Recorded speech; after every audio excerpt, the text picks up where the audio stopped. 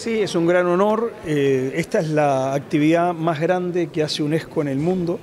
Eh, en ocasión de la, celebración del Día de Libertad de Prensa.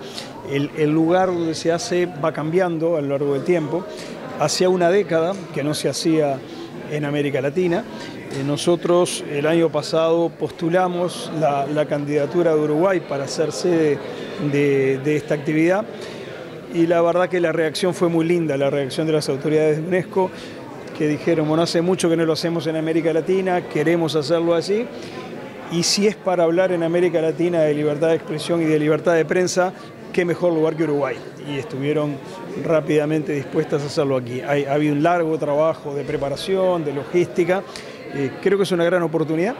Eh, va a venir mucha gente muy interesante, se van a hablar de muchos temas muy interesantes por supuesto, además esto va a tener un impacto sobre Punta del Este, sobre el departamento de Maldonado, que, en sí mismo es positivo. Y es una actividad abierta, además. Lo, único que requiere es que la persona se inscriba en, el sitio web de, la actividad, pero es una actividad a la que, cualquiera puede, puede incorporarse. Así que aprovecharla. Son, son tres, cuatro días en los que vamos a tener unos invitados de lujo, en los que vamos a hablar de temas que nos conciernen a todos. Aprovechemos que la tenemos en Uruguay.